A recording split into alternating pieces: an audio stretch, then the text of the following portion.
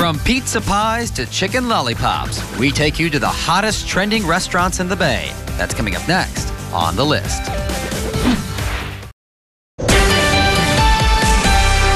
Hey everyone, I'm Teresa Strasser, and you're on the list.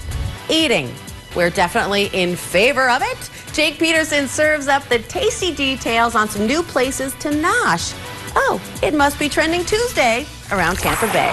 At number one, a slice of Italy. There's a new Ybor City pizza joint that you should put on your list. Cristino's Coal Oven Pizza recently opened on 8th Avenue. Owner Lenny Cristino says his authentic calzones and pizzas will make you think you're dining on the streets of Venice. Everything we made is homemade from scratch. And it's kind of like bring the old workshop back to Ybor. We use tomatoes from Italy to make our sauce. And you can even watch the pizza masters at work.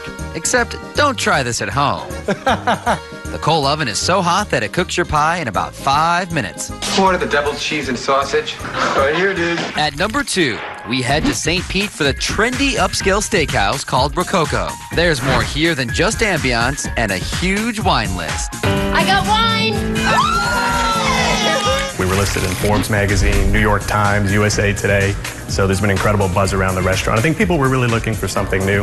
Rococo's grass-fed filet mignon has a big following, but check out the creative appetizers, like the free-range chicken lollipops, the exotic bacon flight with wild boar, duck, and Nueske bacon.